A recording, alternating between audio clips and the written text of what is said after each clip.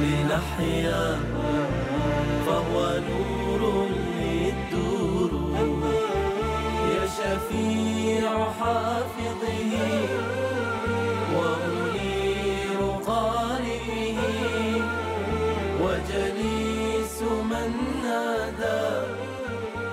بسم الله الرحمن الرحيم. الحمد لله رب العالمين.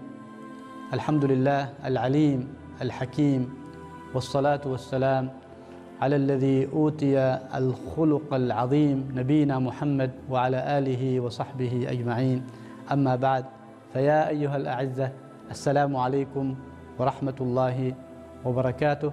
ومرحبا بكم مع هذه الدقائق التي نعيشها مع قوله سبحانه وتعالى ولا تقف ما ليس لك به علم إن السمع والبصر والفؤاد كل أولئك كان عنه مسؤولا. هذه الآية الكريمة تدعو المسلم إلى التحلي بخلق من أهم الأخلاق ومن أروع الصفات ألا وهو التحلي بالروح الموضوعية في تعامله. ولا تقف ما ليس لك به علم. العلماء من الصحابة الكرام ومن بعدهم قالوا بأن هذه الآية الكريمة تدل على عدة أمور من بينها أن لا يتبع الإنسان ما لا يعنيه وأن لا يقول ما لا يعلم أو يشهد بما لا يعلم أو يتكلم في أمور ليس له بها يقين ولا علم ولا دراية. ولا معرفة. فكأن يرمي الإنسان قولا جزافا دون أن يتثبت منه أو يستمع إلى أشخاص ينقلون بعض الأخبار من هنا وهناك دون تحقق من مصداقية تلك الأخبار فتشيع بين الناس تشيع في المجتمع وقد تحدث فتنة في المجتمعات. ولذلك يقول الله سبحانه وتعالى في آية أخرى يا أيها الذين آمنوا إن جاءكم فاسق بنبأ فتبينوا أن تصيبوا قوما بجهالة فتصبحوا على ما فعلتم نادمين. فقد تأتيه الإنسان رسالة على هاتفه أو على أي وسيلة من وسائل التواصل وعبر مختلف أنواع وسائط التواصل الاجتماعي. قد يصدقها هذا الإنسان وينشرها دون تحقق ودون تثبت من الأماكن والمواقع الموثوقة فتنتشر بين الناس. وهناك من يفعل أشد من ذلك وهو ذلك الذي يحرف هذه الأخبار.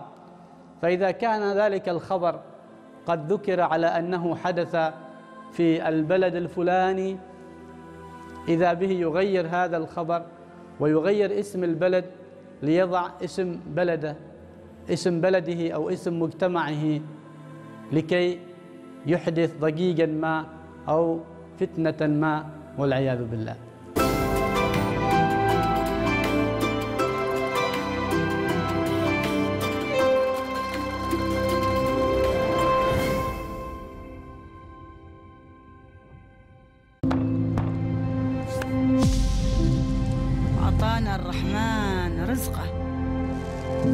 والعطية عطية وما تنحسب بثمانها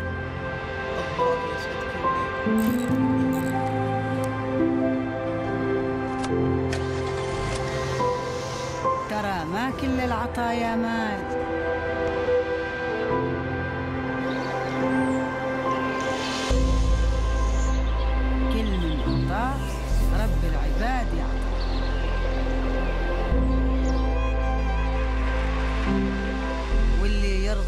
عباد الله. الله يرضيه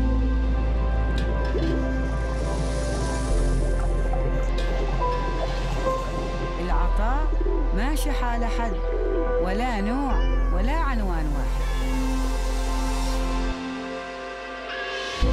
ورب العباد كريم للي يعطي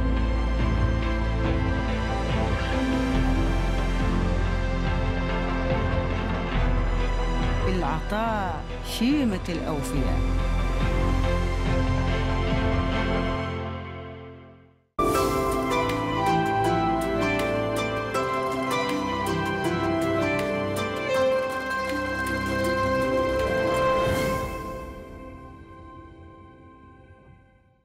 إذا هذا أمر خطير. والله سبحانه وتعالى في مثل هذه الآيات الكريمة دعانا إلى التحلي بالروح العلمية بالروح الموضوعية في تلقي الأخبار وكذلك في نشر مثل هذه الأخبار. وهذا يشتمل أيضا على أمور كثيرة فعلى الإنسان أن يرجع الأمور إلى أهلها إلى المتخصصين فيها. في شتى مجالات الحياة فكما أنك حين المرض لا تلجأ بعد الله سبحانه وتعالى إلا إلى طبيب موثوق تطمئن إليه وتثق به فكذلك في سائر الأمور عليك أن تلجأ إلى الخبير ولا ينبئك مثل خبير. فعلى سبيل المثال أمور الدين علوم الدين هل نلجأ إلى أي إنسان؟ أم نتجه إلى الراسخين في العلم الذين نثق فيهم بطبيعة الحال؟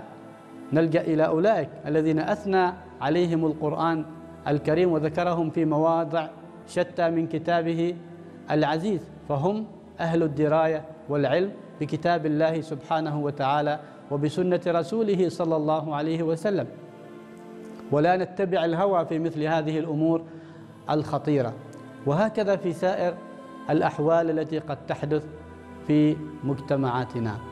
هناك الكثير من الناس أيضا قد يلجأ إلى الشهادة بغير علم فتضيع بذلك الحقوق وتهدر الكثير من مستحقات الناس بسبب شهادة الزور في قريته أو في مقر عمله. وقد يشهد الإنسان على إنسان بما فيه من سلبيات وقد يكون صادقا أن لديه من الأخطاء كذا وكذا وكذا وكذا. ولكن هذا الإنسان أيضا لديه إيجابيات عديدة.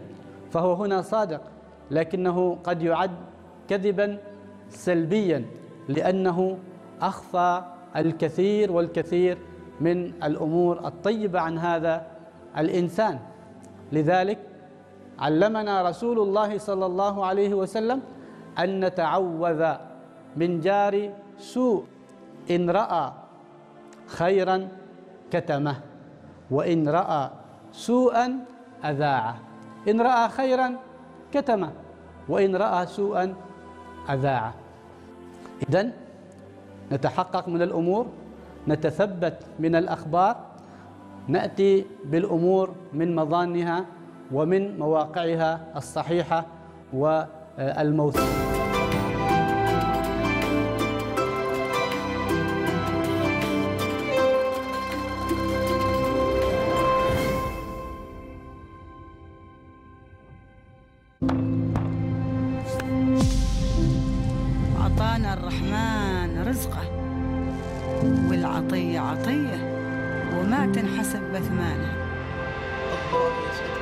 ترى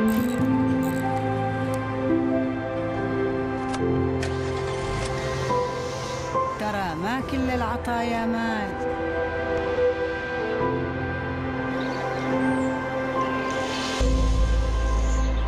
كل من أعطاه رب العباد يعطى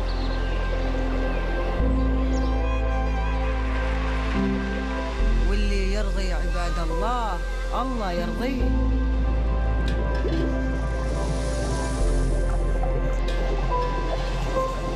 العطاء ما شحال حد ولا نوع ولا عنوان واحد. ورب العباد كريم للي يعطي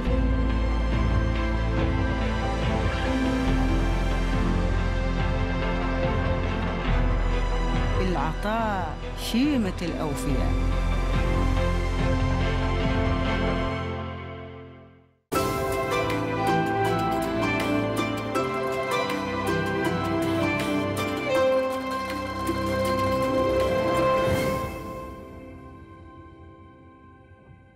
موثوقة وأيضا نسعى للتمكن في العلم حتى يهبنا الله سبحانه وتعالى من لدنه خيرا كثيرا بهذا العلم. أما الذي يتخبط بجهل ولا يسعى ليدرك الكثير مما يهمه في هذه الحياة فقد يقع فيما وقع فيه ذلك آه، آه، الرجل الذي ذهب إلى إحدى القرى قديما فأهداه أحد الأشخاص قماشا.